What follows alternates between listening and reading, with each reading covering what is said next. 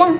皆さんこんにちは。本日の電気予報始めます。今日はなんとじゃーん電力の小売に関する指針の非化石分野について解説したいと思います。イエーイ。はい。ということでですね皆さん電力小売営業に関する指針知ってますか？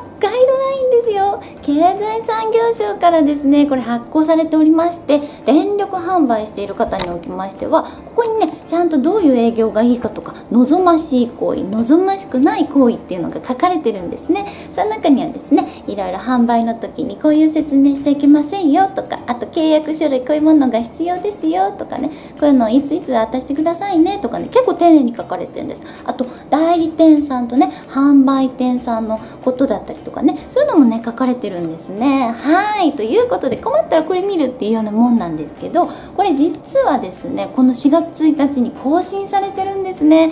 はい。でた、えー、定期的にねあの更新が入るんですけど今までね更新されるって言ってもちょっとだったんですよ割と。ここをちょっと変えましたと。今回はですねボリュームが多かった。すごい公開こうあのー、更新されてました。全部で24ページ増えてますね。はい。なんででしょう。はい。シンキングタイム。はい。ヒントは我々は2050年。はい終了なんでしょう。はいそうです。カーボンニュートラルなんですよ。そうなんです。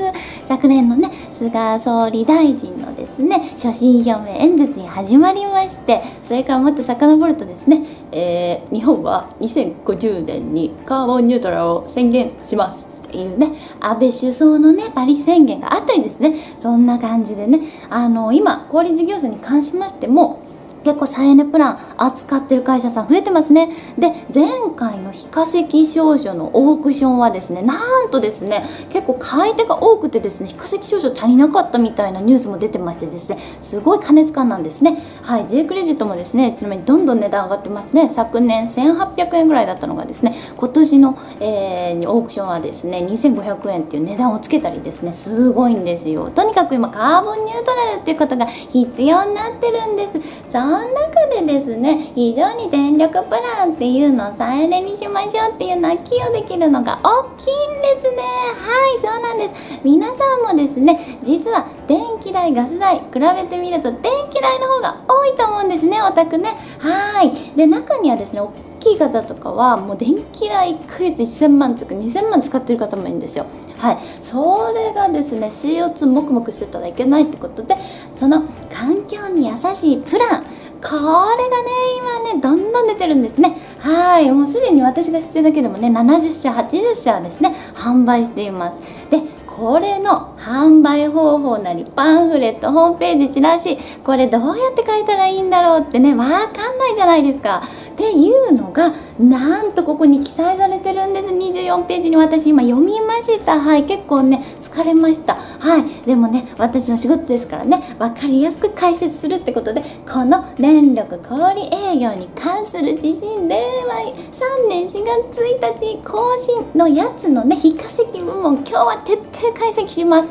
はいちょっと長いですからね皆さんご注意ください。であの概要欄にですねこの時間がねこうやって書いてあるんですよ。でそこにテーマ書いてあるんですけどその時間を押すとそのテーマ飛べるんでこれ一回まずね見てもらって理解してもらうんですけど到底これちょっとね頭に入んないです。まあ似たりよっかりもありますし。で実際に使う時にそのね概要欄拾ってここは見たいって言って時間を押してもらうとですねすっごい便利。途中に飛べる。ななちゃんの途中に飛べる。はいそうなんです。なんでそうやってね是非活用してみてください。はい。じゃあ早速ね始めたいと思うんですけどあの私の目の前にですね猫がいるんですね。はい。映りたがらないけど絡みたいはい。ということで始めます。はい。でですね。はい。この電力小売に関する指針これはですね皆さんご存知だと思うんですけど小売の方は知っててくださいね。はい。これねでもあの RE100 とかねそういうゼロエミッション達成したい企業の方とかに関してもね是非見てない欲しい内容かなとは思います。でこれ経済産業省のねホームページに載ってるんですけどこのね URL もね概要欄に貼っておきますので原文見たいって方はね是非見てください、まあ、私なりにね咀嚼してこれ分かりやすいようにね今回ちょっと資料作ったんですね。はい。でちょっと写しながらねいきたいと思います。今回に関しては。はい。じゃあちょっと寄ろうかな。こんな感じで。口にポンポン打つ感じにねしたいと思いますね。はい。いいかわいい。仲間たちがいっぱいいるからね。はい。でじゃあまず早速始めたいんですけれども今回更新されたのがはい各3番目ということでですね。電源構成等や非化石証書の使用状況の適切な開示の方法っていうところが更新されたんですね。はい。これねあの本当に大事。電源構成と非化石証書のこの開示、えー、使用状況ということでこれね別個なんですよ。まずね大前提。今ねあの再エネの電源フィットの再エネとかフィフィットの再エネ使ってるもんって言って非化石買わない方とかもねいるんですけどそれはもう完全に再エネって言えないんですよ。今もう完全に電気と環境価値は分離されてまして環境価値を謳うには非化石証書必ず必要になってます。あこれですね今今回非化石証書の話しますけれどもグリーン電力証書と J クレジットの再エネ由来も OK ですからね。はいという感じで聞いてもらえればと思います。はい。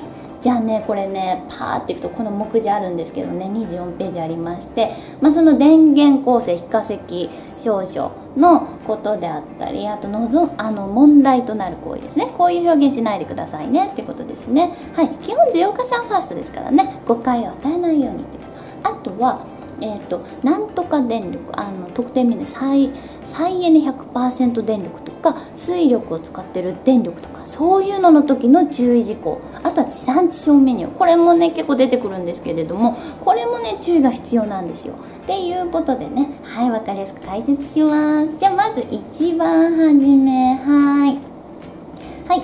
電源構成や非化石の使用えー、使用に関する考え方っていうことでですね。はい。じゃあまずね電源構成と非化石少々あと CO2 排出係数この3つが今回ポイントとして出てきます。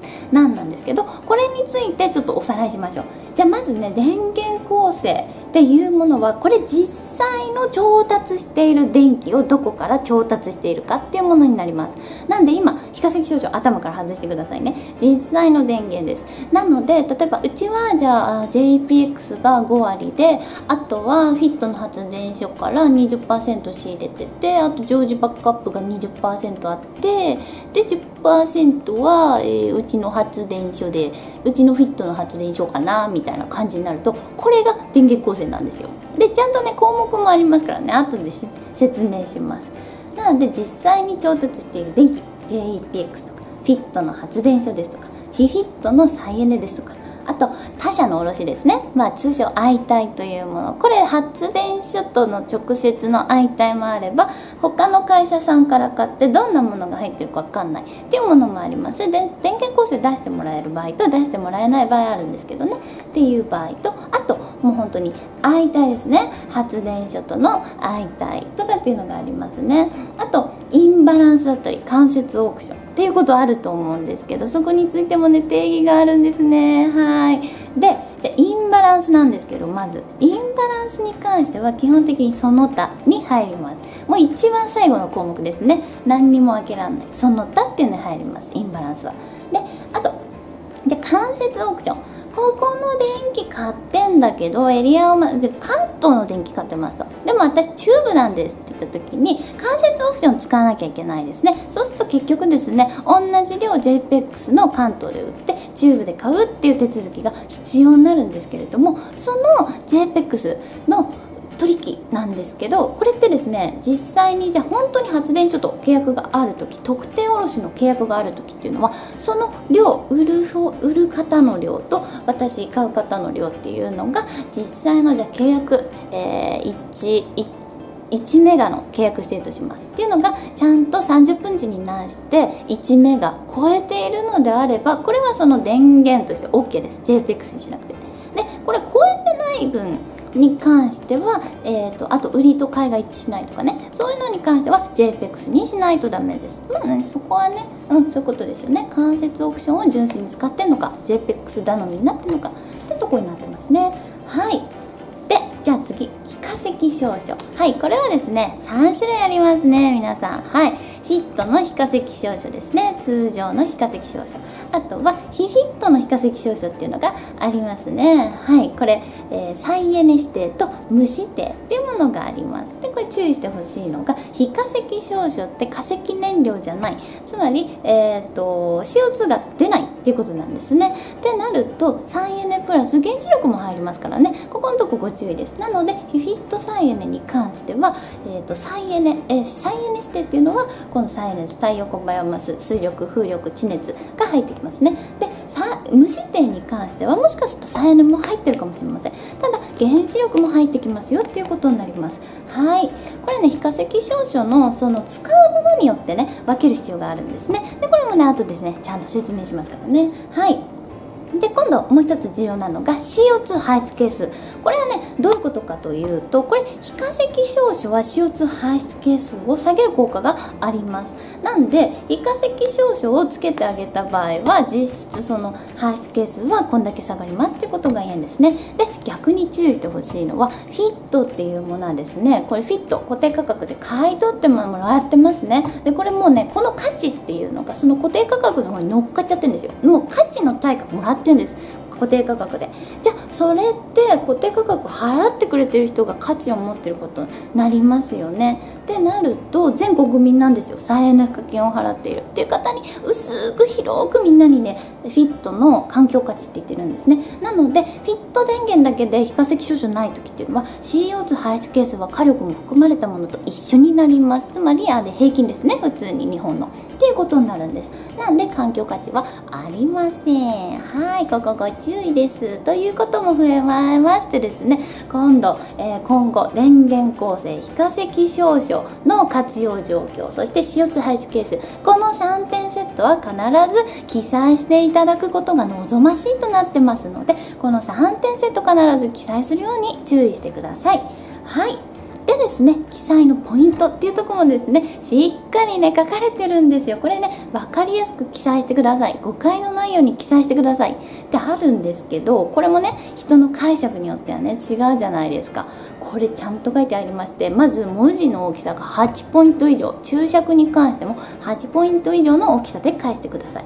であとこうやってホームページとかに書いてある時あとチラシなんかもですけどねスクロールしないで全体が見えるように記入して記載してくださいってなんですね。だから例えば電源構成があって裏返して非化石とかダメなんですよ。注釈だけ一番最後に全部まとめてとかダメです。ちゃんとこの円グラフがあるところに注釈も見えるように一つの画面内に収まるように書いてくださいっていう風に書いてあります。なのでねここまで指定してもらってますからねまあ親切なもんですね。はい。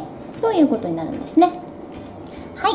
じゃあ今度はですね開示の算定期間に移りたいと思います。これね開示すると非化石証書買ってくるとあれちょっとね時差があったの覚えてますか？買ったことある方だと覚えてると思うんですけど1年に4回オークションありまして3ヶ月ずつね買うんですよ。であれって1年前に発電去年の分っていうのを今年につけるんですけどあれ時差があるんですね。だから、えーと、例えば今回の567えっとちょっとね区切り忘れましたけど、ね、123だったかな？234だったかな？うん、で3ヶ月買うんですけどっていうのは過去のじゃあ7月から9月に発電されたものですみたいな感じなんです。なんでそこのところにちゃんと対応させる必要があるんです。なのでね電源構成とその非化石証書っていうのはちょっと時期ずれになるんですね。はい。っていうこともね大事になりますね。はい。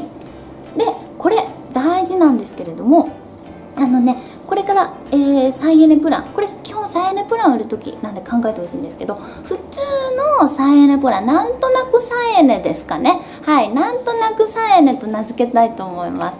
なんかたまに気まぐれで再エネが入るプランみたいなね。なんとなく再エネに関しましてはこれ昨年の実績を用いてもらって大丈夫です。ホームページとかにねこの円グラフね。はい、電源構成も非化石少々の、使用状況も CO2 排出係数もですよ。はい、で開始してまだ間の前間もない場合っていうのは初めの数ヶ月の実績っていうのを記載すればいいんですね。まあ、予定でもいいんですけど予定は大きく乖離したような予定はダメです。僕たちはまだ1個しか発電所調達してないのにえ100%目指しますみたいのはダメなんです。気合技はダメですからね。はい、ちゃんと実績に伴うようにということであの実績昨年実績が、えー、始まって数ヶ月の実績が妥当だと思います。はい、でじゃあ次。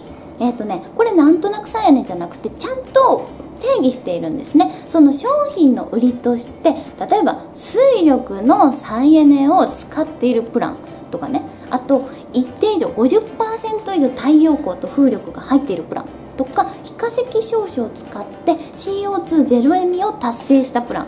これってそのプラン自体に価値がありますよね。その CO2 ゼロエミ達成されてなかったら水力使われてなかったら嫌ですよね。っていうことでそれ特定メニューと呼ぶんですけれどもこの特定メニューに関しましてはですねこれまたちょっとね、え、電源構成とかの書き方っていうのが工夫が必要になります。でなぜかと言いますとですねこれは今年の、えー、昨年の、えー、過去の実績に加えまして今年のですね実績予定値っていうのもちゃんと出さなきゃいけないんです。なので2つある意味ですね過去分今年の、えー、予測実績。でこれはちゃんとあれですよ想定できる実績ですからね。気合じゃダメですからね。はい。っていう風になります。でなんでかっていうとやっぱそういう風なね水力100%とか非化石100%って達成されてるのが前提になりますんでこれはちゃんとあのそうなるような想定実績を立てまけ調達計画立てましてその実績予定を書く必要があります。ちなみにこれね1年終わった後にちゃんと報告する義務もありますからね。はいそうなんですね。はい。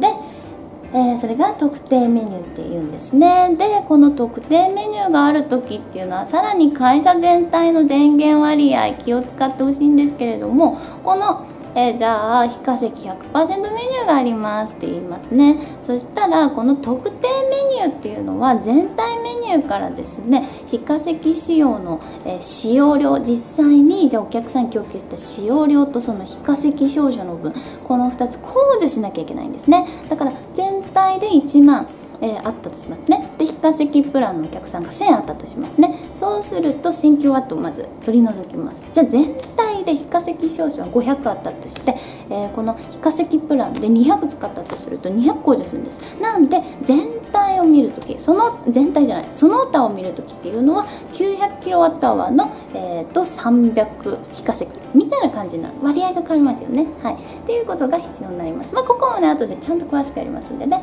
はい。でこれは期間の算定でした。はい。まだまだ続きますからね。これね全然大丈夫。途中からも見れるんでね。はい。たまにふざけた方がいいかな。たまにちょっと休憩入れようかな。はい。じゃあこの先ほど言ってた電源構成や非化石証書の割合を記載するこのね基本は円グラフが必要になりますね。っていうのの例ありましたね。はい。これもあります。でこれ1つのグラフで書く、まあ、だから二重のドーナツですね。二重丸になる時と2つのグラフを、えー、併記するっていう方法があるんです。でこれ何の2つだと思いますか？はいそうですそうですそうです。電源構成と非化石の使用状況ですね。はい CO2 排出係数っていうのはもうポン数字ポンで出ますので、まあ、隣に書いといてもらえればいいですね。はいでこれちょっと見てもらいますと、え電源構成非化石少々ってまあ二重にするんですね。電源は実質、えー、純粋な調達。なんで卸電力取引所何パーセント。で石油火力 L2G 石炭ソーノータみたいな感じでありますね。そこにじゃあ非化石少々っていうのを当ててるっていうのがありましてこれねいろいろ再エネ指定か、えっと、無指定かっていうのは、えー、記載する必要あります。だってこれ再エネメニューの今話してますからね。はい。でゼロエミになったらねこれ無指定も使えますからね。はい。そのね活用方法っていうのをちゃんと頭に入れる必要がある。非化石少々3種類だからね。はい大丈夫です。唱えてれば大丈夫。あこの YouTube3 回見れば覚えられます。はい。ということではい。非化石少女については、えー、再エネしてありこれは今のところはフィットであろうと非フィットであろうと再エネ指定があれば大丈夫になります。はい、まあ、ちなみにちょっとあと R インジ100の話になるとねトラッキングならないといけないとかっていうことはあるんですけれどもまあちょっと今そこは除きますね。R インはまた別で話しますんでね。はい。はい。ということになりますね。そうするとこうやって円グラフがありますで必ずですねこれはですね注釈が結構必要になりましてまあ基本的に注釈増えますんで気をつけてくださいね。はい。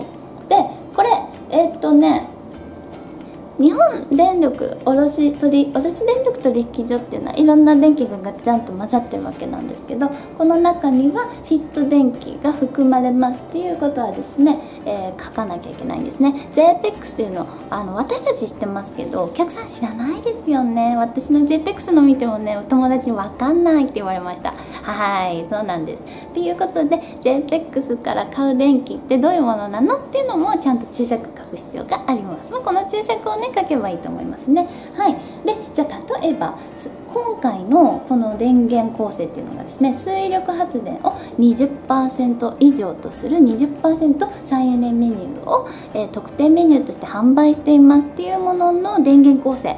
これねその他の電源構成今しないですからねとりあえず。その他の時ちゃんちゃんとこれ工事しないとダメですから。でこれはその水力発電の特定メニューがある人なんですけれどもそれ以外の電源構成を書いてます。なんでちゃんと水力で使ってその特定メニューで使ってる分の実際の調達の水力発電分っていうのと非化石証書分っていうのは控除したものがこのグラフになってるんですね。はい。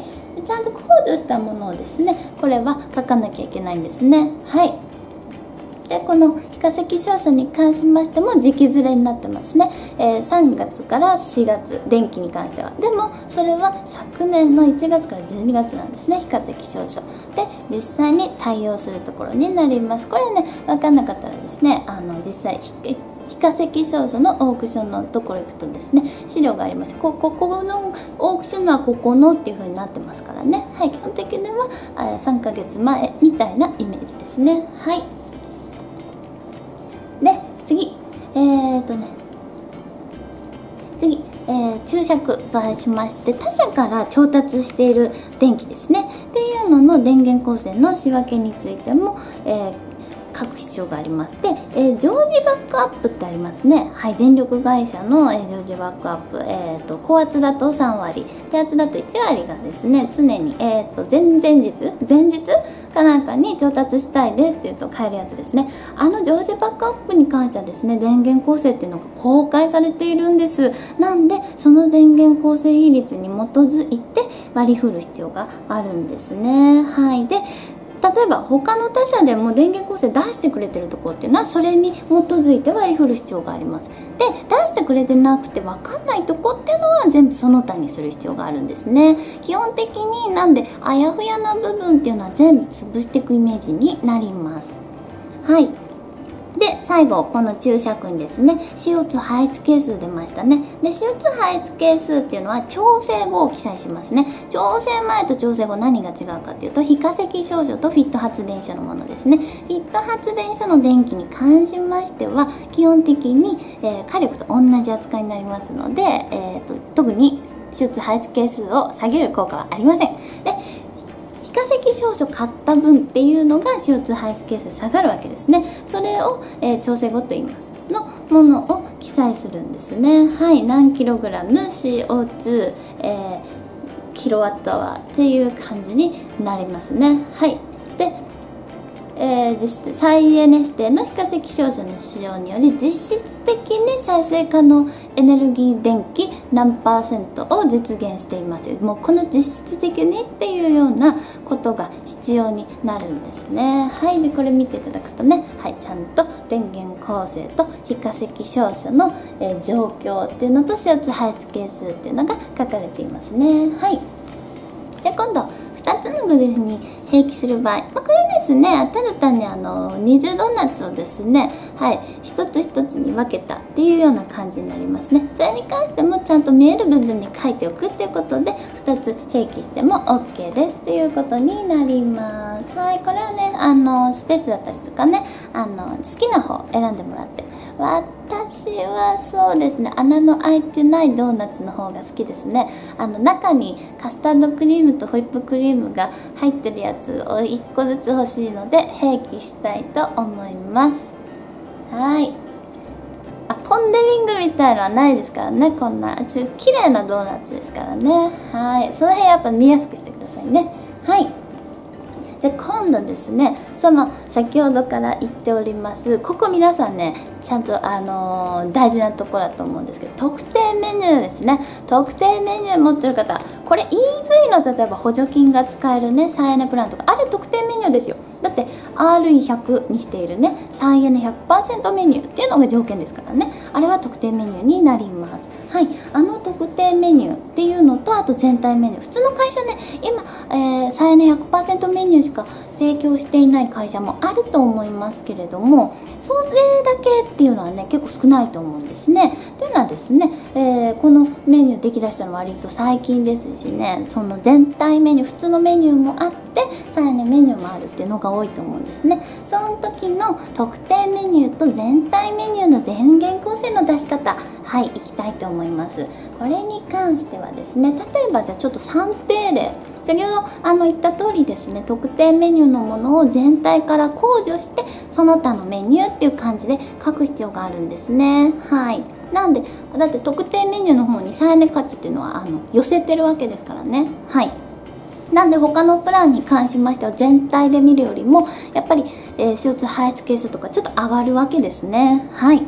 っていうことをちゃんと明記してあげないとですね需要家さんが誤解しますのでそれをちゃんと書く必要がありますで実際にどうやって書くのかっていうのをイメージ湧きづらいと思うんでこの例があったんですね。はい。じゃあ前年度の調達実績で見たいと思います。全体として1万 kWh ですね。はい。で水力1000石炭火力 2000LNG 火力2200原子力1000フィット電気風力100太陽光500で、えー、JPEX1300 その他1900っていうことで全部で1万なんですけどこの会社はですね水力電源20%以上メニューっていうのを販売しています。これ特定メニューになりますね。で前年度の販売実績は 2000kWh でしたと。はい。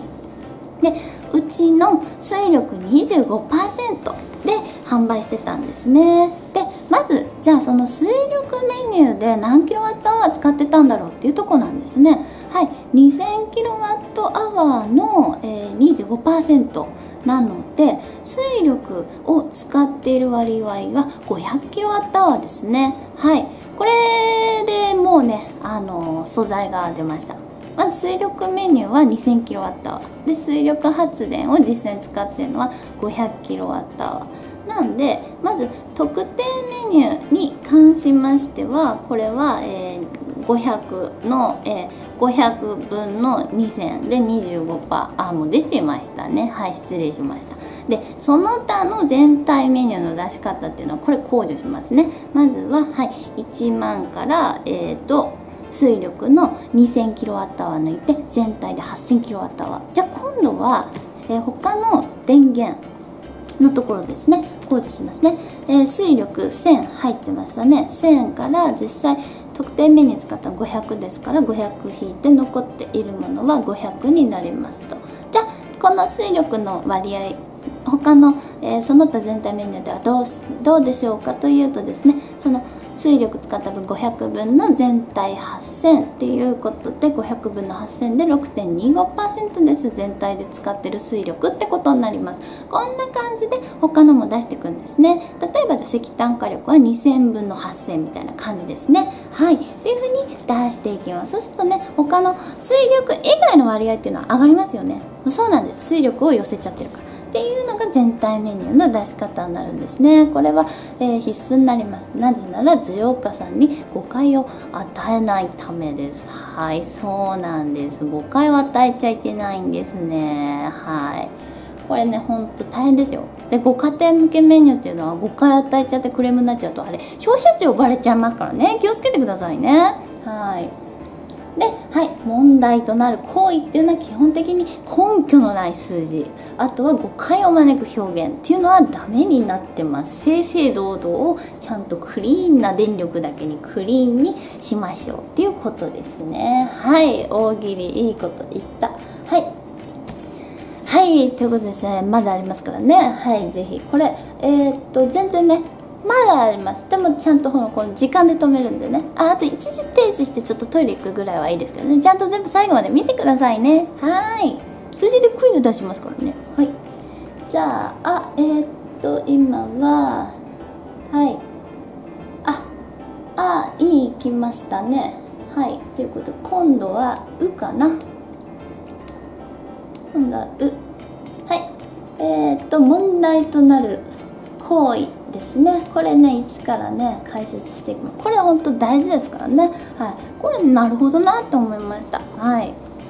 まずねじゃあ問題となる行為。はい。その1環境価値の訴求や非化石証書に関する情報。開示において問題となるもの。っていうのがありますね。これねまず大前提としてですね。電気。例えばソーラーで発電されてるとしますね。フィットじゃないとしますね。でこれ調達してるとしますね。だって非化石少女を買ってないと。これ再エネって言えるでしょう？言えないでしょう。言えないんです。そうなんですよ。もう完全に電気と環境価値は分離されてるものとして考えてください。なんで例えば私がね太陽光から買ったとしても自分のノンフィットのですよ。でもこれ非化石証書はもう分離されてるんで非化石証書もセットで買わないとこれ再エネって言えないんですね。はい。なんでねそういうもんなんですよ。はいそういうもんなんです。じゃあ私のこのえノンフィットでフィットもらってないんだけどって感じじゃないですか。でこれは環境価値っていうのはですね自分で発行することができます。それはグリーン電力証書なり J クレジットなり。で非化石に関しては非フィット非化石の市場に出せるんですね。でその今ねフィットの非化石のその1.3円ですね約定したっていうのはですね皆さんの再エネ化金を減らすために使われてるんですけれども非フィットに関してはこれ発電事業者さんに返ってきます。なんで私に返ってくるんですね。はい。0.6円。はい。加減が0.6上限1.3になりましたからね。はい。ヒットのところはね。っていうのが返ってきます。なんで、まあ、ちょっと非化石が美味しくないと思ったら J クレジット発行したりとかいろんな手がありますね。はい、まあ、J クレジットに関してはですねちょっと計量法の関係もありましてね。なかなかちょっと、えー、元が取れないっていうのもあるんですけど。まあ雑談として。また気になる方はねそれ解説するんでね是非見てください。はい、で脱線しましたけど必ず、はい、非化石証書を再エネにもつけないと環境価値を訴求できないことになってますっていうことを大前提にしましてはいさらにそのうち非化石証書を使用せずに環境価値を訴求すること。これ問題となります。はい。そうなんです。必ずね分離されちゃうんですね。なので非化石証書がないと例えば再エネ CO2 ゼロエミッションっていうことは言えないんです。でじゃあちょっと似た言葉ならいいんじゃないっていうねなんか噂がなんか広まってたんですねなぜかね。はい。ダメですよ。誤解しますからね。ダメですよ。似た言葉でも。なんでグリーン電力クリーン電力とかね。あと綺麗な電気とかこういった誤解を招く表現もダメになってます。ちゃんと非化石証書買ってくださいね。っていうことなんですね。はい。で注釈で再エネ価値がないこと。CO2 排出係数は減らないことっていうのもちゃんと明記してあげる必要があるんですね。はい。なんで、えー、非化石証書を買わないのであればそこのところを誤解しないようにちゃんと書いてあげましょうってことになります。8ポイント以上でね。8ポイント以上で。はい。じゃあその2はい。えーと、非化石証書を使用したことをもって電源構成等に関して誤解を招く表示をすること。はい今度逆になりましたね。はい非化石証書買って再エネ価値手に入れたぜ。イエーイ JPEX バンバンだけど再エネだぜっていうのはダメなんですよ。非化石証書っていうのはあくまで環境価値ですね。でこれ考え方としてもう電気と環境価値も2つあると思ってください。だから円グラフ2つあったんですね。はい。なんでどんなに環境価値を手に入れたとしても電源構成に変わりはありません。なんで JPEX 火力、えー、調達してる方はそこはそのままではありますね。はい。で、えー、再生可能エネルギー電気の販売に際してでこれと同量えここ注意ですよ。JPEX とか火力の時ダメですよちゃんと再エネ買ってるですよ再エネを買っててそれと同量以上の非化石証書を調達している。っていう時に関してはこれ再生可能エネルギーによる電気を供給している。あとは CO2 ゼロエミッションっていうことが言えます。まあ、ちゃんと実際に再エネも買っててその分非化石当てててっていうのでもうどっちもね電気も環境価値もちゃんとしま揃えましたっていうのは再エネですっていうふうに言えるんですね。ただじゃあ電気はあれ JPEX ですと。で非化石証書は買ってますっていう場合はですねこれえっ、と再エネとは言えないんですね。はい。なので実質が再エネでなければ CO2-0 エミッション電源はえっ、とダメなんですね。言えないんですね。はい。でこれ非化石証書に、えー、当ててるので実質的に CO2 排出係数は下げられますとか実質的にっていうふうに明記している。で電源構成もちゃんと明記している。これ再エネじゃないですよ。調達は火力と JPEX ですよ。で明記してる。で注釈に非化石証書はそういう効果があるので実質的に排出係数下げてますよっていうふうに明記していれば大丈夫です。なんでね浄化酸使いたい時って多分排出係数減らすとかなんですね。そうすると浄化酸は排出係数減らせればこれでもいいんですけど再エネって勘違いさせちゃいけないんです。これ再エネじゃないですよ。CO2 排出排出係数減らせますけどね。っていうのはいいんですね。はい。なんでまあ難しく考えなくて純粋にただ事実を正しく書いていけばうん一番正解かもしれないですね。はい。っていう感じになってます。はい。じゃあはい。次ですね。はい。問題となる行為。大きい丸2はい。電源構成との開始、えー、開示において一般的に問題となるもの。はい。今度電源構成の話に来ましたね。はい。じゃあそのうちのその1電源構成によって需要家が供給を受ける電気の質自体が変わると誤認されるような表示を行うこと。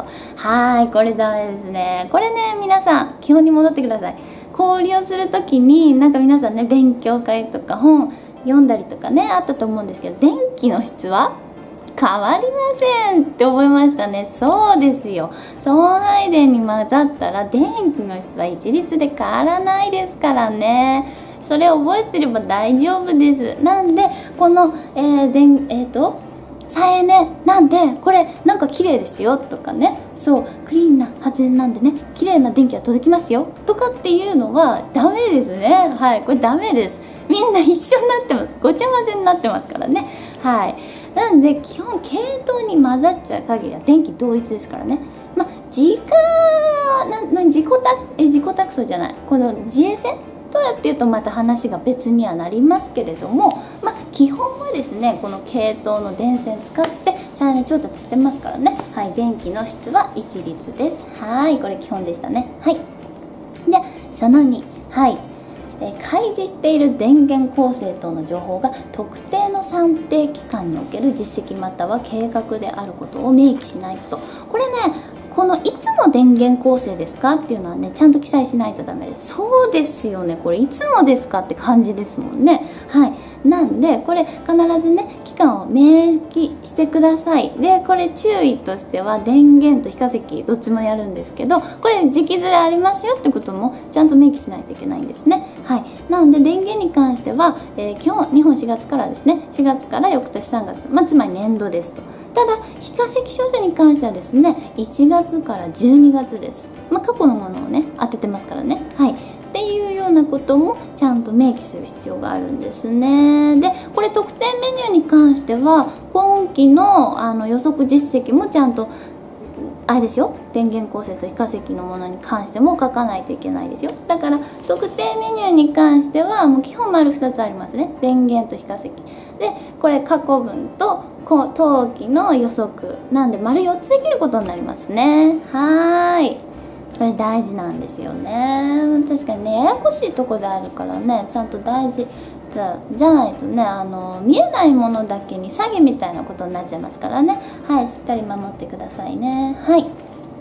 その3はい。電源構成等の情報について割合等の算定の明確な根拠がない。はいこれダメですね。イメージ図っていうものはダメなんです。はいなんとなくこれぐらい。水力これぐらいとかねダメです。よ私みたいな緩い人はねやりそうですけどちゃんとね根拠がある計算を使ってくださいねっていうことになります。じゃあ例えば特定契約がある時太陽光と特定契約ありますっていう時はそのキロワットアワーの、えー、容量ですねっていうのをちゃんと記載するようにしてくださいってことですね。はい。で常時バックアップに関してはその旧一連の、えー、電源構成でちゃんと出てますのでそれをちゃんと、えー、使うようにしてくださいとか JPEX 比率はこうしてくださいとかっていうのがありますのでそれをちゃんとですね、えー、根拠に基づいた算定をしなきゃいけないっていうことなんですね。でこれ目標値を入れることあると思うんですよ。例えば、えー、今年の水力プラン20%以上ですけど来年は30%以上目指しますみたいなやつ。うんそのレベルなら OK です。見込みもあるなら OK です。ただこれ100%目指しますみたいのはダメですね。目標値は実績とかけ離れたものっていうのも誤解を与えますので NG になります。これ電気構成のねページに書いちゃってると問題なんですけど、まあ、会社のビジョンとかでねえ後々に、え例えば5年後10年後に全てを再エネで賄いたいとかそういうのはねいいんじゃないですかね。うん私そういうの好きですよ。うん。私んちもね、えー、小型風力でね賄うつもりですからね。はい。いいんですよ。はい。じゃあこの電源構成なんですけどこの円グラフでいろいろさっきね水力とか火力とか JPEX とかあったじゃないですか。それの項目です。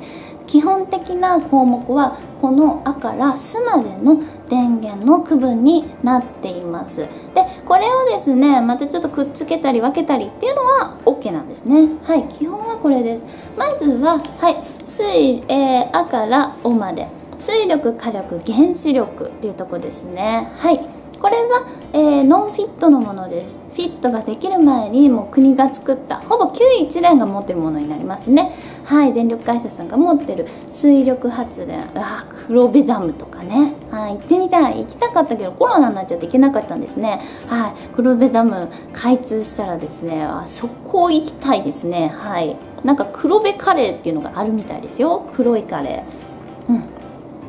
私山好きだしね。はい。で水力発電所。はい、えー、出力3万 kW 以上により発電された電気。まあ大型水力ってことですよね。はい。ダムですダム。はい。ビーバーちゃんです。で次。火力で石炭ガス石油ですね。はいこれ燃焼費構成してるやつですね。はいこの火力発電ね今日本で約86%、はい、CO2 もくもく排出してるっていうので問題になってます。ちなみにねやっぱりこういうのでだんだん止めてってさね増やしていくっていう過渡期が始まりますのでしばらくはちょっと夕方の高騰っていうのはね続くんじゃないかと言われてます。はい豆知識でした。はいお原子力発電。により発電された電気。はい原発はね。これちゃんと勉強したらいいんですよ。はい原発。なんであのちゃんと伝えますからね。はい安心してください。はい。で、えー、これに関してですね。はい。火力今ね石炭ガス石油って言ったんですけどこの分類以上に例えば今高効率の火力は増やしたい。であの古い火力っていうのはどんどん撤廃に向かっているっていうのがありますね。というような感じでですね火力が高効率かそれとも石炭ガスなので、えー、古いものかっていうふうに分けたりしてもいいですよってことですね。はい。あとは似た性質のものっていうのはあこれからねちょっとこ全部においてなんですけど似た性質なものはまとめてもいいってことになります。例えばフィット電気フィットのなんとかフィットの風力フィットの水力とかっていうんじゃなくてフィットってまとめてもいいですよってことになるんですね。はいじゃあ次「カー」からいきますね。はいで「カーキクケコとこれフィット電気になりますね。はいさやね太陽光風力水力地熱バイオマス。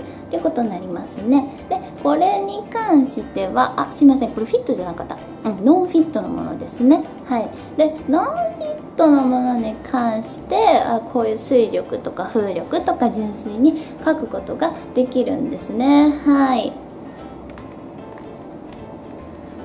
はい。でこれにえっ、ー、と再生可能エネルギー付きの非化石証書を使用した場合には再生可能エネルギー発電による電気っていう風にあにまとめることができるんです。だからこれちゃんと非化石当ててれば、えーと、太陽光風力水力が例えばあったとして再エネっていう風にまとめることができるんですね。はい。でこれ先ほどの「か」から「こ」においてですね。はい。これのフィット電気ですね。っていうところ。を、えー、書きます。これが「さ」ですね。はいまとめられてますね。1個に。フィット電気ってまとめてもいいしフィットの太陽光ってまとめ書いてもいいしフィット風力って書いてもいいです。っていうことになります。であと最後、まあ、最後から2個目ですけど、えー、JPEX 日本卸電力取引所ですね。で本当の最後はその他。これは本当に分類が分かんないやつですね。っていうような分類になっています。なので基本的にはですね、えー、ノンヒットの大きいやつ91年さんが持っているものですね。水力火力原子力っていうものと今度再エネの方ですね。はい。5つの再エネの純粋なフィフィット。それからフィットの再エネ。そして JPEX でその他になります。で常時バックアップに関しましてはこれ9 1さんの電源になりますので9 1さんの電源構成で安分する形になります。なんで基本あいうえおに入ることになるんでしょうね。はい。はい。でここでねはいまだまだねありますからね。はい。ちゃんとねこれね一回ちゃんとね頭に入れるとね大丈夫ですから。はい安心してください。大丈夫ですからね。はいなかったらですねいつでもねはいコメントでもねいただければね私もうお答えしますからね。なんつだってこれ3回目ですもん読むの。だって自分でまず1回読んだことありますよ。でこの資料作るのにねもう1回やってますからね。でこれ話しますからね。でこれ編集の時にこれ入れるのもう4回ですからね。もうプロになりますからね私ね。はい。えー、っと今はその分類までいきましたね。電源構成。はい電源構成について、えー、問題になる行為というところに行ってますがはいじゃあ引き続き進めます。はいじゃあ次間接オークションについてじゃあどうすればいいですかと。はいいうことですね。はいこれ先ほどねちらっと説明したんですけれども間接オークションっていうのは、えー、エリアが違うところでの電源調達を行う時になりますね。はい。じゃあ例えば相対電源とか発電所からの特定卸契約というものをじゃあ自分が中部エリアの人間ですと。でも東京から仕入れてます。ってなった時っていうのはこれ送配電網は JPEX 入札する必要があるんですね。はい。間接オークションって言います。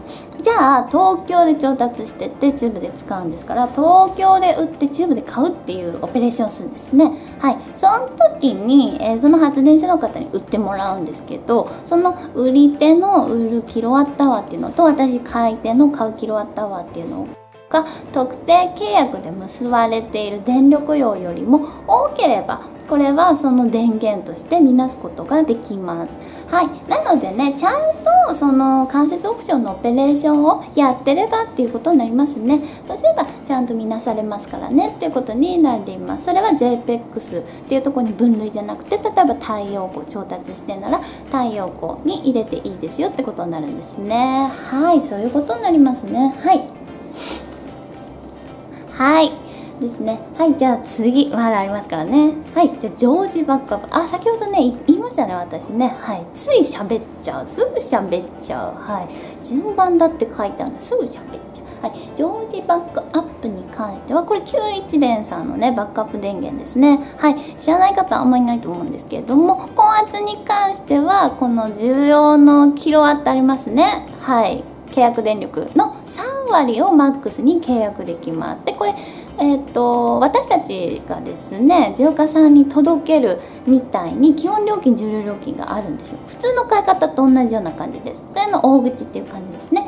基本料金重量料金があります。なんでこれあの3割ね買えるんですけどそれ使っても使わなくてもいいんですよ。ただ基本料金かかるんで考えてくださいねっていう感じになりますね。はい。それが常時バックアップ。で手圧の場合はその最高需要の1割までですね。はい。買うことができるんですね。ありがたい。で91年さんの発電部門の発電種別の発電実績に基づいて仕分ける必要があります。これは仕分ける必要があります。出てるものに関しては仕分けてくださいということになるんですね。はい。でこれに際しまして他社さん。はい。他社から仕入れた電気というものはどうしたらいいか。というとですね調達先から電源構成が示された場合っていうのはもちろん使ってください。で示されてなくても掲載されている場合それも使ってください。えじゃあ掲載されてないよっていうかそれはしょうがないからその他にしてくださいってことですね。なので基本わかるものに関してはちゃんと、えー、暗分して電源比率に入れてくださいでわかんない場合はその他っていうことになるんですね。はい。はいそうなんです。結構電源構成ね詳しくなってきましたね。はい。厳しくなってきました。あ昔はねほとんど出してるとこってあんまなかったかもしれないんですがこれ基本になってきますね。これから出すのがね。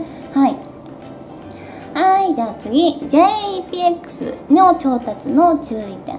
はい。でこれ JPEX に関してもですね JPEX って単純にやるんじゃなくてさっきあったあったですよね。中書きね。はい。どんな電気が含まれているのかっていうのを明記する必要があるんです。そうなんです。で、えー、JPEX から調達した電気の二酸化炭素排出係数量についてこれに関してもですねはい、えー、JPEX の方で売りが、えー、出てるますよね。売りの事業者のところの事業者別の基礎排出係数をこれ約定した電力量に応じて過重平均するということ。まあ難しそうに見えますけど要はこの売りのとこのね排出係数がね出てるんですね。30コマごとあ30分コマごとにですね。っていうのを自分がその買った例えばね1コマでここ 50kW60kWh っていうふうにそれね荷重平均してちゃんと月間なり年間のまあ排出係数年間ですね。年間報告なんで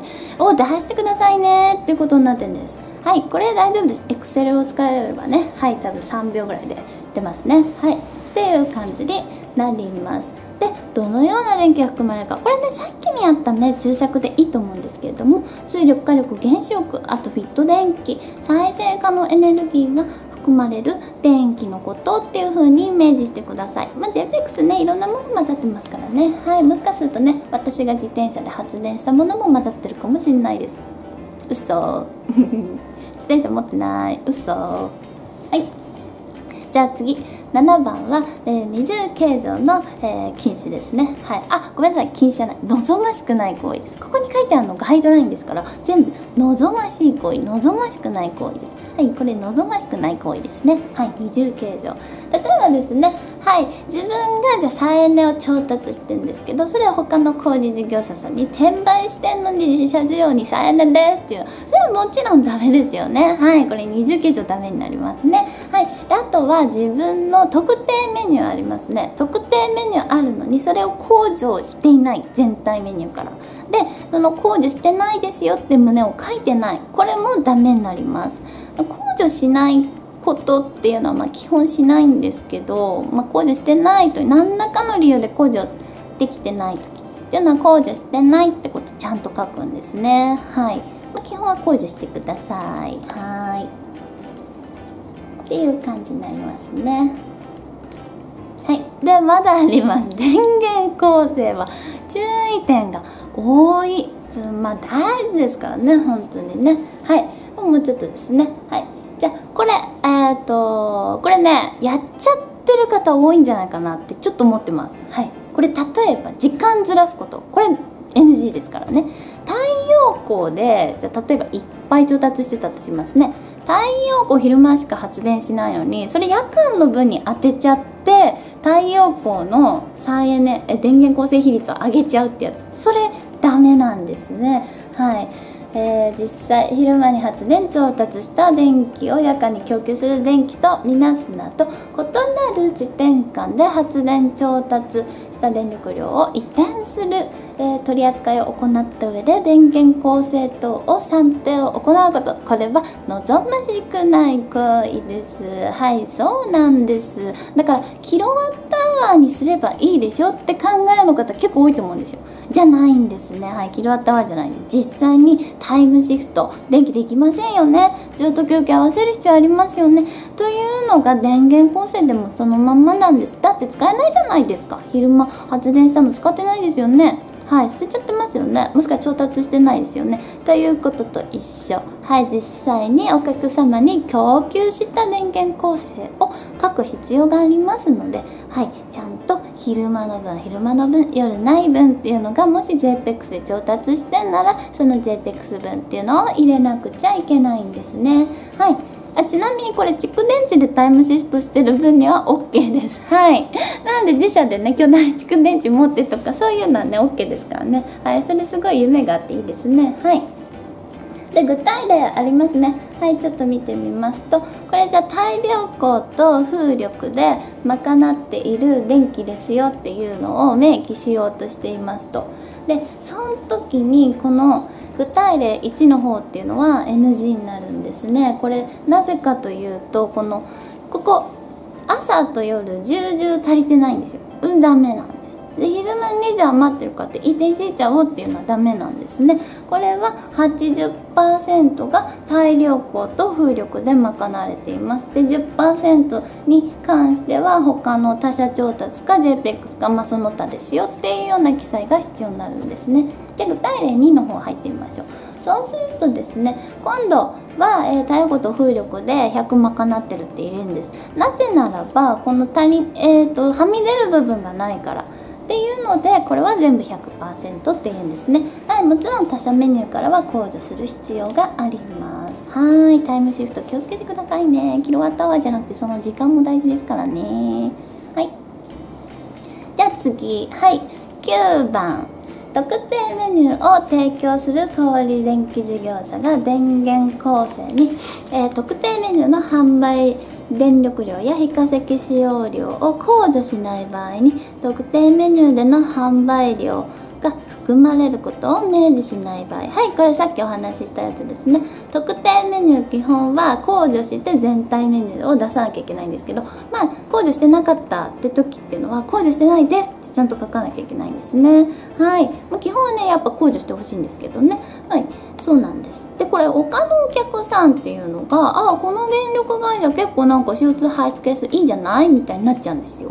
っていうので普通のメニューも仕込んじゃうみたいなことがある。実際はそこって落ちくわけですね。だって特定メニューに吸い寄られてますからね。っていうことでちゃんとこれ特定メニューっていうのがありましてお客様に、えそれを販売してるので全体のメニューっていうのはもっと低くなりますみたいなね注釈ですね。はい書かないといけないですね、まあ、この例の通りでいいと思います。はいこの数値を含んでますっていうことをねはい記載してあげる必要があります。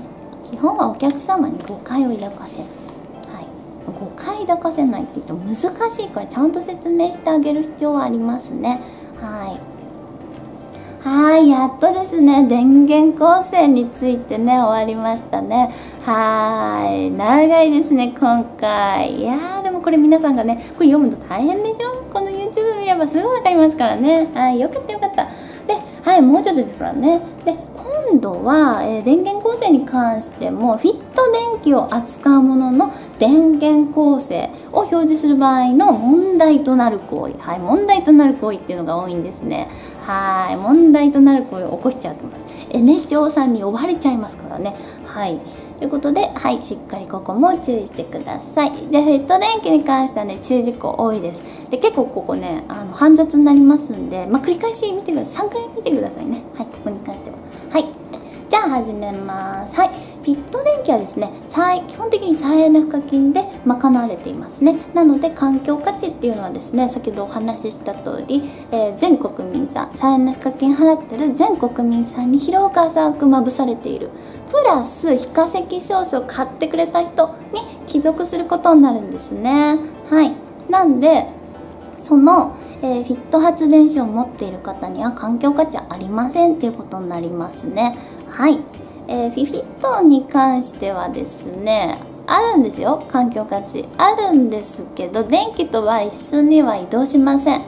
なんであるんで、えー、電気は売ったってなったらその環境価値も売りたい場合はそれを少女化して売る必要があるんですね。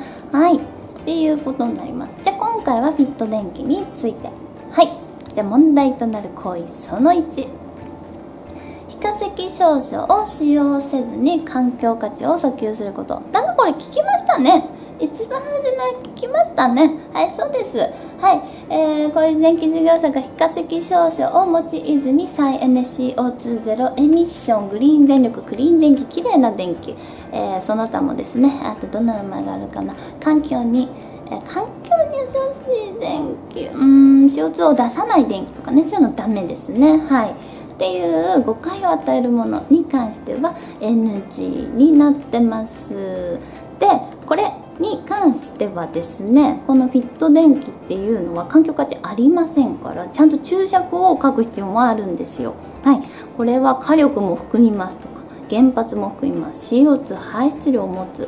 っていうことを注釈でちゃんと書かなきゃいけないんです。でさらにフィット電気を扱う時、えー、電源構成として入れてる時っていうのはですねこれフィット電気の3つのポイント必ず書かなきゃいけないんです。でこれから先もこれ出てくるんでもう覚えてくださいね。これ書かなきゃいけないですからねフィット電気調達したら。はい。まず1つ目フィット電気である点。これはフィット電気です。言わなきゃいけないです。で2つ目えー、この小売電気事業者さんの電源構成の全体または特定メニューに占める、えー、割合ですね。このフィット電気っていうのが特定メニューある方は特定メニューのどれくらいで全体のどれくらいっていうことは書かなきゃいけない。だからフィット電気は他とちゃんと分けて書いてくださいねってことになってるんですね。はい。で次、えー、3つ目。でフィット制度の説明これ必要なんですよ。はいじゃあまとめますと。まずフィット電気ですよ。フィット電気どれぐらい使ってますよ。フィット電気ってこういうものですよ。この3点セット必ず必要になります。じゃあフィット電気の説明ね。こんな感じでいいと思います。フィット調達費用の一部は需要家の負担する賦課金により賄われておりますと。いった説明が必要になるんですね。はいそうですよ。実は皆さんね浄化さん再燃課金払ってる方はねフィット電気にね貢献してますからね。はいそうなんですね。まだまだ再燃課金上がりますからね。要注意です。はい実家消費増やさないと。はい。じゃあ次、えー、フィット電気販売において、えー、電気構成について、えー、問題となる行為その2はい。非化石証書を使用した場合にフィット電気に関して必要な説明をしないこと。はい。まあ要はフィット電非化石証書使ったからいいやじゃなくてフィット電気はね、えー、説明が必要なんです。っていうことなんですね。はい。じゃまず、えー、1つ目。やっぱりあさっきと一緒でフィット電気である旨、え、どれくらい使ってますかっていうこと。あとはフィット電気の説明。必要になるんですね。はい。じゃあこのヒット電気販売電力量に相当する非化石証書を使った場合に二酸化炭素の排出量がゼロの電源。これゼロ CO2 ゼロエミッション電源ですね。はい。これは歌っていいんです。フィット電気にちゃんと同量以上の非化石証書つけたなら CO2 ゼロエミッション電源ですっていうのは言っていいんですね。はい。でもこれ再エネですって言っちゃダメですからね。再エネの価値っていうのがフィット電気っていう事態でもうないですからね。あれ再エネじゃないですか。フィット電気は再エネじゃない。うん。ね。普通のフィフィット再エネは再エネですけどフィット電気は再エネじゃない。なんかよくわかんない。電気作ってるとこ。っていうことですからね。はい、ただ非化石消臭って CO2 排出係数下げれますので CO2 ゼロエミッションは言えます。はい。ちなみにこれ非化石証書無視点使っててもですね。はい。言えますからね。はい。実質的に CO2 ゼロエミッション電源ですっていうことは言えます。でヒット電源のことはちゃんと明記する必要ありますからね。はい。ここの辺でジオカさんも頭こんがらがりますね。はい。きっと問い合わせきますからね。ここちゃんと理解しておくようにしてくださいね。はい。はい。でその3はい、フィット電気っていうのをなんかあのあんま分けて書かないでください。フィット電気っていう言葉で一語にしてくださいってことですね。はい NG な例例えばフィット、えー、風力太陽光電気とかね。はいえそんなややこしいことしないでよってこと。はいフィット電気はフィット電気にしようよってことになりますね。はい。はい、やっとなりましたね。はい、まだありますからね。はい、じゃあちょっとまとめ。あ、再エネの表示のそう整理と CO2 ゼロエミッション表示の整理はいってことですねはい再エネ指定証書とフィフィットあもうこれで表ねはいあのぜひ見ておいてください。今までね解説した部分になりますのででこれあのほら概要欄のこの時間のとこ押せばもう一回ちゃんと詳しく説明しますからね。はいということになりますね。まあ基本はヒフィット再エネは再エネですけどフィット電気っていうのは再エネじゃないですからね。はい。なんでフィット電気ってこういうものっていう説明が必要ですと。で電気と,、えーと、環境価値は完全に分かれてますんで非化石証書が必要になります。っていうことになるんですね。はい。で、まあ、再エネとゼロエミ。これはですね上と下の分け方としてはフィット使ってるか使ってないかっていうところなんですね。はい。フィット使ってても CO2 ゼロエミは言えます。でもフィット電源の時っていうのはえっと再エネっていうことはねあのダメですね。はい。純粋に言っちゃダメです。フィット電気の説明が必要になりますからね。はい。っていうことになるんですね。はい。なんで非化石証書が入ってて、えーと、そこが、えー、実質、えー、再エネを調達してない時っていうのは実質ってつけますと。で、えー、再エネを調達してんですよと。再エネ調達してんですよっていうとえー、それに非化石もついてんですよって言うと再エネゼロエミっていますと。じゃあフィットの電気を調達してて非化石つけてますよって言うと再エネっていうふうに、えー、言っちゃいけなくてちゃんとまあ言ってんですけどちゃんと注釈でフィット電気って言わなきゃいけない。ってことなんですね。はい、まあ、基本は全部丁寧に書いとこうっていうことになりますね。はい。はいはい。じゃあ今ですね、フィット電気を使う場合の問題となることっていうことを説明しました。じゃあ今度は特定メニューの時にのみ問題となること。ここね、皆さんぜひ、あの、ちゃんと勉強してほしいですね。これ特定メニューって皆さんが作りたいメニューだと思うんですね。はい、地産地消の電気とか、えー、太陽光使った電気とかね、えー、CO2 排出係数が100%ない電気とかねあると思うんですね。はい。ナナちゃんの電気ガルちゃんの電気とかね。はい。あると思うんですね。はい。それに関してのはい。問題となる行為ですね。はい。大丈夫。もう長いけどこれ網羅してればもう誰も文句言えないから。だってこれ計算書が出してるんですもん。大丈夫ですこれちゃんとこれ話してる方の身にもなってくださいね。ノンストップで今言ってますからね。はい。喉が割と乾いてきましたよ。でもやりますよ。私は皆さんのために。熱い魂持って説明しますからね。はい。はいじゃあ行きたいと思います。特定メニュー。はいこれに関してはですね皆さんここちゃんと、えー、やってましたかっていうところもあると思うんですけど盲点だと思うんですけど皆さんこのガイドラインにねちゃんと書いてある通りにですね電気を契約する時って説明義務書面交付義務っていうのがあるんですね。はいちゃんと重説説明してますか？ちゃんと説明してますか？契約書配布してますか？約款配ってますか？ってことなんですね。はい。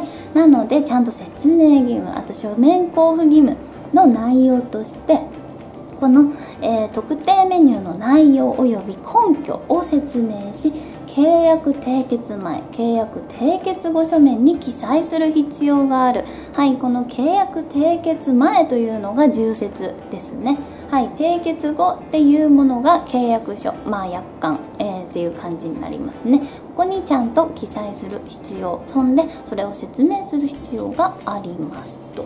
はい、内容及び根拠、まあ、特定メニューどういうものですよと、はい、数力20%なのかなとか。じゃあ根拠、はい、電源構成と非化石証書こんな感じになってますよっていうことですね、はい、を記載するんですね。はい。じゃあその問題となる行為その1はい。販売する当該年度の計画値を示すことなく過去の実績値のみを持ってえー、電源の割合を示すこと。はい、これもなんかさっき出てきましたね。はい。ああ、なんでだろう。ああ、私説明したね。はい。そうなんです。この特定メニューっていうのはですね、それ自体に価値があるんです。なんで、急にね、予定狂ったり予定わかんないものっていうのは、あんま買わないんですよね。はい。っていうことで、それちゃんと示してあげる必要があります。昨年の実績っていうのはもちろんなんですけれども、電源構成非化石証書の、え、購入予定、とかっていうものに関してはですね実績と今年の予定どっちも記載が必要です。どっちかじゃないです。どっちも必要です。なんで A が4つできますね。はい。なんです。でこれもねちゃんとあの期間もね対応させてね非化石のっていう感じになるんですね。じゃあこれと途中で期間の途中でプラン始まりましたってなった時。あ違う違う。でこの途中から供給開始しましたってなった時どうするかっていうとこれはその途中の時点から年度末まで。電源構成に関してはですねその始まった時点から3月末までっていう感じになります。でそれに対応した非化石証書っていう感じになるんですね。はい。なんで、えー、これちゃんと実績と、えー、予定も書いてくださいねって感じになります。はいそれに際して注意その2実績値について事後的な、はい、説明を行わないこと。はいこれどういうことかというと過去の、えー、実績出しましたね。予測出しましたね。でこの予測出てるんですけどあくまで予測ですよね販売時点でこれじゃあ1年経って分かった時に実際こうでしたよって説明しなきゃいけないんです。その説明を行わないことっていうのは望ましくない行為。まあ確かに親切じゃないですよね。こういうプランが欲しいってかっていうのに実績値が出ていないっていうの。なんでまあいろいろね方法あると思うんですけどちゃんと実績値をね知らせてあげてくださいねってことになります。はい。はい。はいじゃあ次ですね。はい。今度また大項目進みますよ。はい。各種電力メニュー等に関する表示例。はい表示例まで来ましたよ。来ましたね。はい。これ表示例ね。すごいね。勉強になるしね。はい。パクれるんでね。はい。ちゃんと覚えてくださいね。はい。じゃあ再エネメじゃあ1個1個ずついきますはい。再エネメニューの表示例じゃあこれはね再エネ100%メニューやった？100%やった？はい。ってやつなんですね。はい。これもですね見てください。米米クラブがみたいな感じで米印いっぱいあるんですけどまあそうですよ。非化石少女とかねフィットとか使ってたらなおさらね、はい、今までの知識でこれできますからね、はい、ちゃんと頭の中で一緒に考えてくださいね。はい。じゃあまず再エネ100%メニューの場合どうなる？かっていうとまずこの再エネ100%と歌っている時点でですねはいこれえっ、とあれですねちゃんとあのあれですね JTEX とかそういうのじゃないってこと分かりますね。であの100%いってる時点で非化石はマックスであ調達してんなっていうような感じだと思うんですね。でちゃんとはい電源構成と非化石の状況あ今度あ20円ですね。あ二重のドーナツでしたね。はい。私は一重のドーナツが好きです。カスタードクリームとホイップクリームのドーナツが好きです。はい。えー、はいいんですけれども、はい、えちゃんとねこれ期間も書いてありますからね。はい、うん、ではい、電源構成。水力3万キロワット以上。これ910のですねきっとね。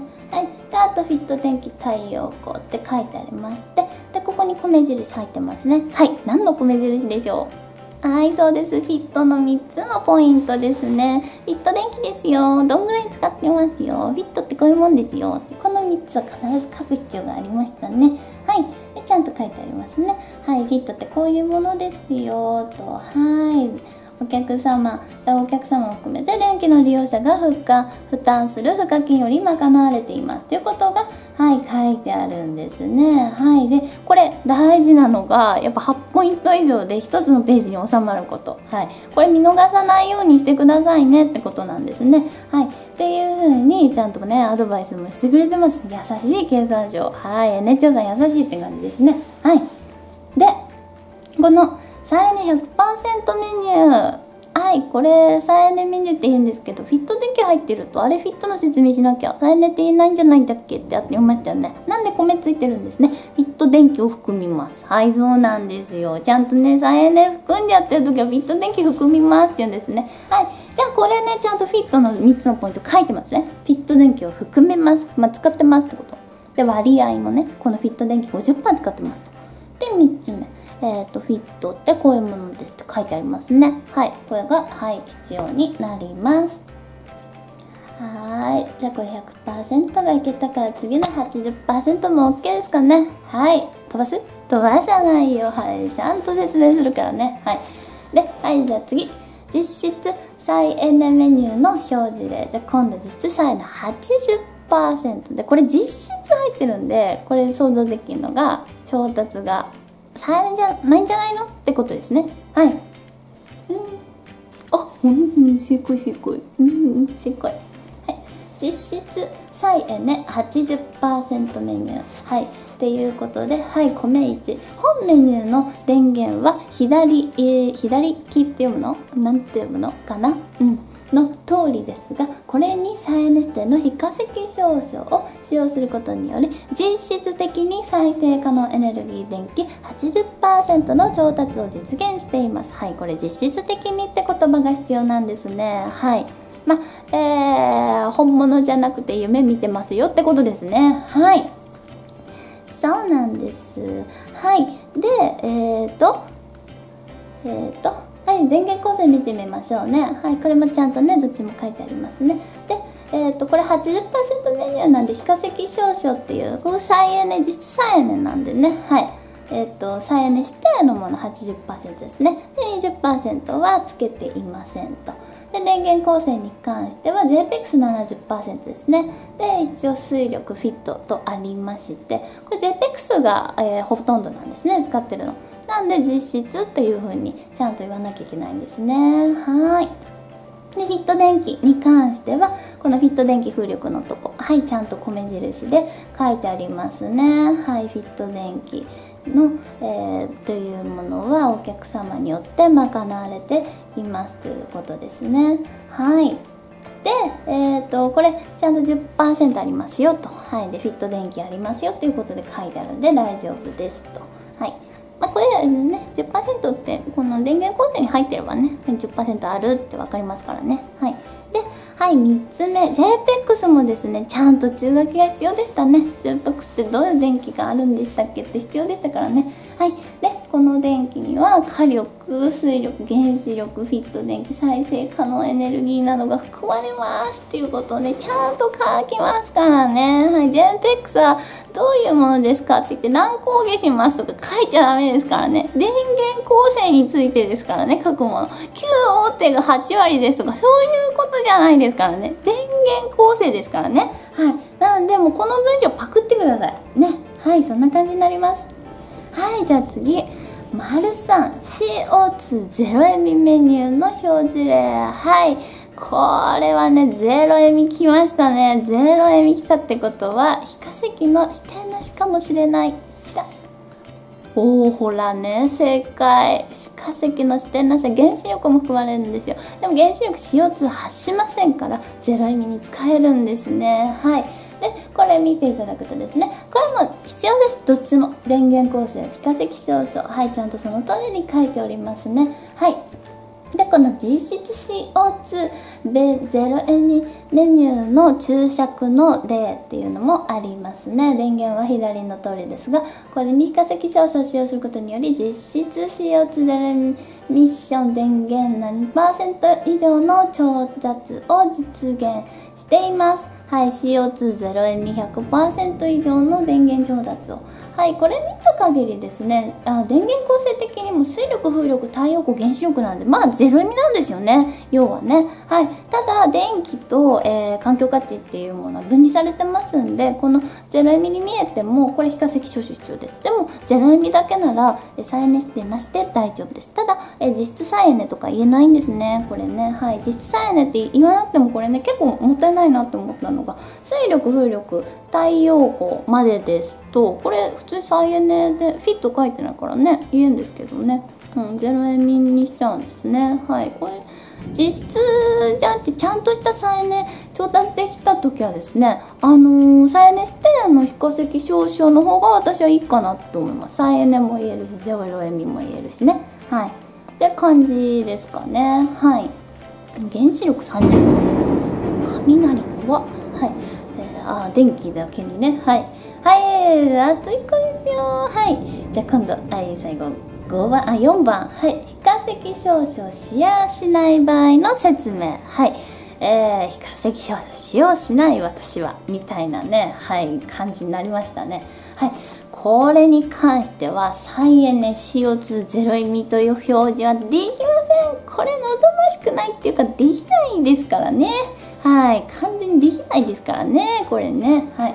環境価値がない旨を記載する必要があります。はい電源構成見ていただいて水力ピット電気卸取引所その他ってありますね。まあ、JFX 多いんですけど、これ、ま、ちょっと水力ね、あとフィットもありますけどね、非化石証書つけてないんです。ってなった時に、これは、まあ、いくら20%ね、まあ、水力と風力のね、フィットあるとしますよ。でも、言えないですからね。はい。完全分離されてますからね。はい。この電気には非化石少々使用していないため、最速のエネルギーとしての価値や CO2 ゼロ未価値というものは、え有さず火力電力、火力電源などを含めた全国平均の電気の CO2 削減排出係数が適用されますということになるんですね。はい。非化石少々がないと全国平均の適用になります。はい。日本の排出係数ですね。だいたい0.0005ぐらいかな。はい。うーん。例の数はちょっと合ってるかわかんないけど、はい。そんな感じになりますね。はい。っていうことなので、これが必要になります。でこれフィット電気と JPEX とありますね。なんでちゃんとこれらの説明必要になりますフィット電気とはこういうものですっていう感じですね。でさらに非化石少々つけてないのでこれゼロエミ価値も再生可能エネルギーとしての価値もありませんよっていうことをちゃんと明記しますね。はい。で JPEX の説明最後入ります。はい。ということで必要なものこんな感じになりましたね。まあ注意するポイントとしてまず非化石入っていない時にはちゃんとそれ明記すること。であとは、えー、フィット電気には3つポイントありましたね。フィット電気です。どんぐらい使ってます？フィットってこういうもんです。っていう記載が必要ですね。あと JPEX に関しても必要です。っていうことになります。はい。ちなみにこういうのねあれ関節オプションとかジョージバックアップも入ってると思いますからね。はい、で割り振られた後です。はい、で割り振り方に関しては間接オークションはちゃんとそれ以上契約以上のユーロ変えてればその電源に割り振ると。で、えー、常時バックアップに関しては91電の発電部門の、えー、電源構成を見てそれに割り振るっていう感じになりますからね。はい皆さんよくできました最後もう1個ありますはい本当にこれで最後はいじゃあ最後大きな項目6番はいこれも結構大事です。皆さん大事地産地消大事。はい。ということで〇〇地域産電力。はい。地産地消とえ発電所の立地地域を小売供給の特定とする場合においてのみ問題となるもの。何々地産地消電力。はいどこどこの電力っていうのありますね。はい食べ物でもね地産地消ありますからね。はい私はちなみに山形のさくらんぼが好きです。はいっていうような感じに言う時もこれも誤解を与えちゃいけないので注意事項がありますね。はいじゃあこれ本当これで最後のところね。はいこれいきたいと思います。はい。じゃあ、はい、当該特性の内容及び根拠を説明し契約締結前締結後交付書面において記載し説明しないといけないということが書いてあります。はいこれも大事なのがちゃんと重説と約款と契約書に書いてくださいねってことになるんですね。はいそうなんです。なんでここ忘れる方結構多いんですけどね。ちゃんとチラシとかだけじゃなくて重説とか約款にも書いてくださいってことになるんです。でその内容及び根拠。はいじゃあこれどういうものが根拠になるのかどういうものが内容なのか地産地消の定義みたいなもの。が、えー、知らないと思いますね。それちゃんと書いてありましたのでまとめました。はい。これね必見ですよ。はい。でまず地産地消とは一定の限定された地域において発電し消費されることが基本とされていますと。はいじゃあこの一定の地域って何でしょうねって感じなんですけどね。主として特定の地域の発電所で発電した電気を同一地域の需要家へ電気を販売消費することっていうのが最低限の条件として必要になってます。じゃこのね大体その同一地域ってどういうことかというとこれ関東地方とかねそれは広すぎてダメですって感じなんですね。はい。なんでまあうん県とか市とかぐらいがいいんですかね。ちなみに別のあの系統つながってないとこは当然ダメです。例えばあの沖縄からとかダメですね。はい。って感じになります。なんでもうほんとその地域のっているってことが大事になるんですけどさらにもうちょっと掘り深めてみたいと思います。はい。小売電気事業者が発電所の立地地域を根拠として何〇〇地域電力えー、または地産地消と訴求して、えー、販売しようとする場合は発電所の立地地域えー、発電所の立地場所及び電気の供給地域が最低限必要はい発電所の立地地域。これどこどこにある発電所なんですねっていうところと供給場所はどこですっていうことをちゃんと明記しなきゃいけないんで発電所の場所供給、えー、供給する浄化さんの場所っていうのをねちゃんと書く必要があるんですね。はい。じゃあどうね地産同一地域なのかって定義するかっていうとこも書く必要はあります。それをちゃんと、えー、重説約款、うん、契約書に書く必要があるんで。じゃあどの地域をね定義にしてるかってとこなんですけど、まあ、同一の県内であるよとかね。あとは同一のその燃料を使ってますよとか。っていう感じになるかと思うんですね。例えば輸入燃料を用いず特定の産出された燃料を持って発電したことを理由に地産というふうに訴求するのであればこうした点を説明することが望ましい。例えばバイオマスですね。木質バイオマス。この地域の、え、木材を使っています。でその地域の木材を作っているエリアで消費されている電気です。っていうとこれ地産地消なんですね。でじゃあこれ地産地消とみなしてるのはその木材でつながってるってことですよね。なのでそれをちゃんと記載するっていうことが大事になるんですよってことなんですね。はい。それが地産地消。結構意外とね考えてたよりも狭い範囲かもしれないですね。はい。また地産とですね初級していましても日本電力オルティ取引所や常時バックアップなど他社から調達している電気を用いている場合にはこうした線も説明することが望ましい。はいそうです。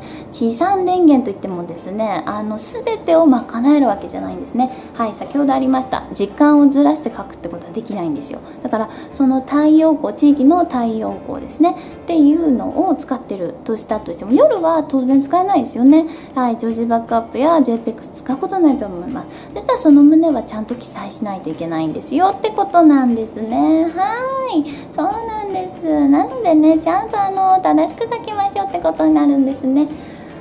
はいということでですね。はい長かった。1時間ぐらいいったかな今回。はいということで。この電力小売営業に関する指針のこの非化石部門再エネ部門 CO2 ゼロエミ部門について説明しました。イエーイ。はいということでこれであなたももう再エネマスターです大丈夫ですでもしわかんなくなったらねぜひコメントください。ななちゃんが答えます。もうななちゃん何回もこれやってるからもうプロになっちゃいましたね。はい。で、この後編集をするからね、またプロになって全員ね、はい、コメントいただければと思います。はい。で、これね、またもう一個ね、釘を刺すようであれですけど、これ経産省さんの出してる非化石症状が今回メインだったたんですけど、環境省さんの出してる J クレジットとかね、あとグリーン電力証書とかね、また使い方変わってくるんですね。はい、ただね今後ねグリーン電力少々、えー、J クレジットに関しては23年ちょっとね供給量減ると思います。というのはあれ基本フィットでやってるとフィットいっちゃうんですね。でフィットがえっ、ー、と卒フィットとかを束ねてっていうので J クレを作るとかっていうのはあるんですけれども軽量法の関係で今あのちょっと軽量法で新しいネタつけど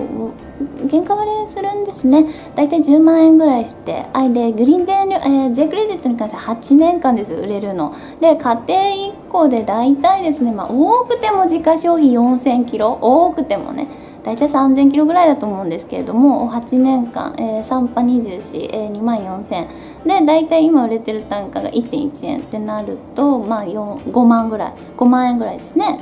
J クレジット売れるの。でメーター10万円だと原価割れしますね。ということでこの計量法が変わってね普通のヘムスとかあとパワコンからね取れたデータで J クレ生成できるようになるまでちょっとねまだ、えー、生成されないと思うんですね。で大きいものに関しては基本全部フィットにいってますよね。はい。なんでちょっと J クレはねどんどん減ってくると思います。で23年後軽旅行開放されて、えー、住宅の、えー、屋根上とかも、えーこれ J クレができるようになるとまた出てくると思うんですけどね。はいっていうことなんですね。なんで非化石が基本メインになるのかなとは思います。ただ JPEX 会員でないと非化石証書取引できないのでその分に関してはですね J クレやグリーン電力証書っていうの出てくると思うんですけどね。はいで、えー、そこに関してはですねまたちょっと扱い変わってきますのでまた別で解説したいと思います。そして RE100 というようなですねあれ海外の団体が由来なんですね。なんでまたちょっと違うんですね。はい。いというのがあるのでまたそれも別途解説したいと思います。はいとりあえずは今回はエネチョウさんのガイドラインに関してはこれで OK ということで再エネゼロ意味の非化石の扱いについてはぜひこれを家宝にしていただいて、えー、皆さんで見ていただければと思います。はい。では今日の天気予報を終わりにします。皆さん今日もいってらっしゃい。いってらっしゃい。雷鳴ってる。空から電気が降ってるよ。